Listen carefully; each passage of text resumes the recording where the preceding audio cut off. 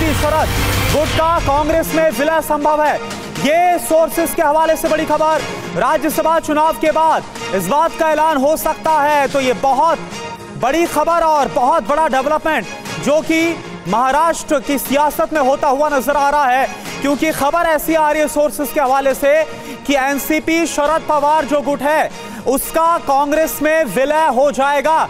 यह संभव है जो सोर्सेस जानकारी दे रहे हैं। राज्यसभा चुनाव के बाद इस बात का ऐलान हो सकता है। कुमार विक्रांत इस वक्त हमारे साथ जुड़े हैं। कुमार, लगातार महाराष्ट्र की सियासत में बहुत बड़े फेरबदल हो रहे हैं। लेकिन अब ये बड़ी खबर जो आ रही है, जिसमें एनसीपी शरद गुट के ही कांग्रेस में विलय होने की बात आ रही है, क्या डिटेल्स ये देखिए 2019 के बाद से शरद पवार चाहते रहे कि सुप्रिया सुले जो उनकी बेटी हैं, वो कांग्रेस में शामिल हो जाएँ। मतलब शरद पवार की पार्टी का कांग्रेस में विलय हो जाए।